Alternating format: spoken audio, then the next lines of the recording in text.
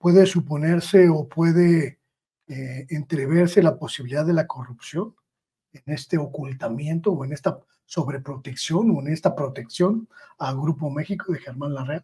Totalmente, Luis Guillermo, y es que hasta me haces decir algunos adelantos de lo que empezamos, de lo que estamos llevando. Pues ya estamos así. Sí, ya estamos así, así es, así es. Mm. Así es, no, pues sí, en efecto, o sea, pues tan solo habría que ver que había incluso conflicto de interés en este mismo, en este mismo eh, eh, comité, consejo técnico. Eso es brutal. Es, exactamente, entonces eh, me, parece, me parece que se trata de un asunto muy, muy complicado y qué bueno que ahora pues hay esta, este diagnóstico tan importante de la propia Semarnat, porque, sabe Luis Guillermo, también hubieran podido darle carpetazo.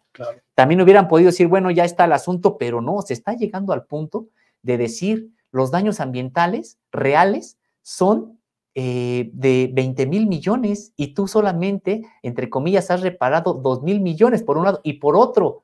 Precisamente esta falta de trabajos de mitigación significa que haya zonas que el desastre está en el mismo nivel que hace nueve años. Entonces, eh, me parece que deja desnudo esto a los trabajos que se hicieron en la propia Semarnat anteriormente y también deja desnudo al propio Grupo México y a todos aquellos que buscaron prácticamente ya cerrar, eh, lavarle la cara a Grupo México, decir que ya todo está bien y me parece que es uno de los grupos hoy pues más importantes, no solamente a nivel eh, latinoamericano, sino mundial y que creo que tiene que responder por este tipo de desastres.